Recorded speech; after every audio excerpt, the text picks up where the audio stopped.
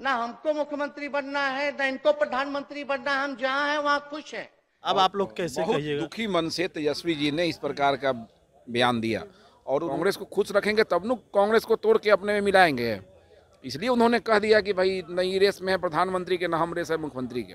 कि जब आवश्यकता पड़ेगी तो वो कांग्रेस के लोगों का सहयोग लेने में उनको विधायक पवन जायसवाल हैं हमारे साथ। कल बिहार के उप मुख्यमंत्री तेजस्वी यादव ने यह स्पष्ट कर दिया कि उनको मुख्यमंत्री नहीं बनना है।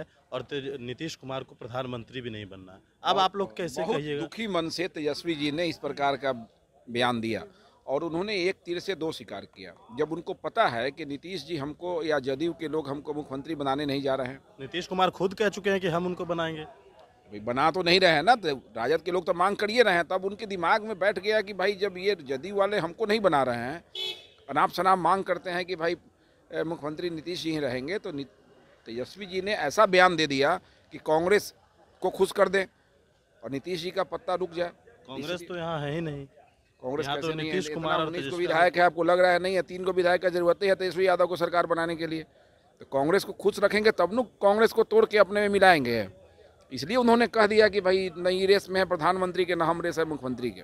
कि जब आवश्यकता पड़ेगी तो वो कांग्रेस के लोगों का सहयोग लेने में उनको बेहतर माहौल पैदा होगा। अच्छा एक बात है कि नीतीश कुमार अंग्रेज़ी देखकर इन दिनों भड़क जा रहे हैं। क्या हिंदी को बढ़ावा ये देना तो ये तो अच्छी चीज़ है। ये तो नीतीश जी की प्रशंसा हम करते हैं कि अगर हिंदी राष्ट्रभाषा हम लोग की है और हिंदी के पक्ष में उनका बयान आता है तो ये तो निश्चित रूप से नीतीश जी के लिए बहुत अच्छा चीज़ है और देश के लिए भी अच्छा चीज़ है राज्य के लिए भी अच्छा चीज़ है। रहना ही चाहिए हिंदी हम लोग की मातृभाषा है। चलिए बिल्कुल। देखिए भारतीय जनता पार्टी के विधायक पवन जायसवाल थे हमारे साथ। एक तरीके से बिहार के मुख्यमंत्री नीतीश कुमार की हम बात करें तो नीतीश कुमार इन दिनों लगातार अंग्रेज़ी को देखकर भड़क जा रहे हैं। कहा जाए कि जहाँ भी अंग्रेज़ी देखते हैं, वो जिसने भी लिखवाया होता है, सीधे उसको टारगेट करके यह जवाब देने के लिए कहते हैं और हटाने के लिए भी कहते हैं। अब देखिए, भारतीय जनता पार्टी के लोग नीतीश कुमार का इस बात पर समर्थन कर रहे हैं। हिंदी राष्ट्रभाषा है और नीतीश कुमार अगर इसको आगे बढ़ा रहे हैं तो ये एक सराहनीय कदम है और हम इसका समर्थन करते हैं। साथ ही साथ, तेजस्वी यादव ने कल सदन में एक बात जो कही कि ना हमें मुख्यमंत्री बनना है और ना नीतीश कुमार को प्रधानमंत्री बनना है तो एक तीर से दो शिकार जो है, वो उन्होंने किया है ऐसा कहना है भारतीय जनता पार्टी के विधायक का। उन्होंने कहा कि कांग्रेस को खुश करने के लिए तेजस्वी यादव ने इस बात को कहा।